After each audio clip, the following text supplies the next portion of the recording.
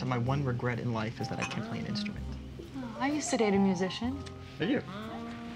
A sax player, very brilliant. Mm. He'd play those sad songs with so much feeling. It could make you cry. Mm, that's a great gift.